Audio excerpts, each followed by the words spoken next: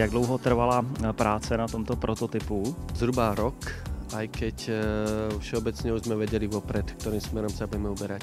Na který prvek z tohohle konceptu jste nejvíce pyšný? Tak mě těší vůbec to, že jsme robili ten koncept tímto směrem, že jsme robili po dlouhé době v Škodovke opět kupé. To je určitě ten největší prvok celé to auto. Samozřejmě ty proporcie a co se týká toho toho charakteru auta, ta čistota těch tvárů. A myslíte si, že kupé by mělo být v nabídce Škodovky, protože vlastně od doby Garde z 80 let eh, zatím není?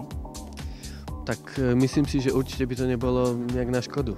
Jako, věděl bych si to představit. V zákulisí se hovoří o tom vlastně, že některé prvky z tohohle konceptu se eh, objeví na Superbu třetí generace.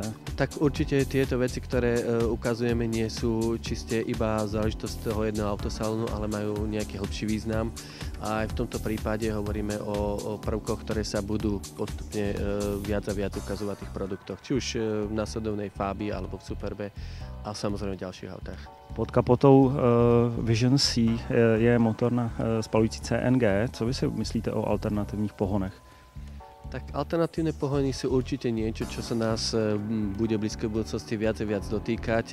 Je to samozrejme dôležité v živote nebyť iba odkazaný na jeden ten pohon, ale uh, prichádzajú či už CNG, alebo elektromotor, alebo hybridy. A proste tých variant je nespotečné množstvo. Myslím si, že je to dobré, je dobré skúšať, hľadať a aj v tomto prípade je ukážka toho, že uh, tá budúcnosť, ten dizajn a aj tie vízie nie sú čiste iba emocionálna záležitosť, ale že poukazujeme aj trošku na ekológiu. Obecně ve všech autech se používá stále více eh, elektroniky, ať už na palubních eh, displejích eh, nebo v podstatě na všech zařízeních uvnitř toho auta.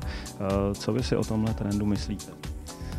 Tak ono je to, je to tak, že sa používajú hlavne kvôli tomu, že ľudia to chcú, akože my zákazníci alebo v podstate všetci, čo používame tie auta, sme si zvykli na to, že proste e, ten prístup informácií nechceme mať e, obmedzený ani v tom aute a samozrejme tá elektronika dá sa rozdeliť na dve časti. Jedna, ktorá nám naozaj slúži k tomu, k tomu e, bezpečnému pohybu toho auta a druhá zase tá, tá, tá informatika, tie informácie, ktoré si chceme prenášať.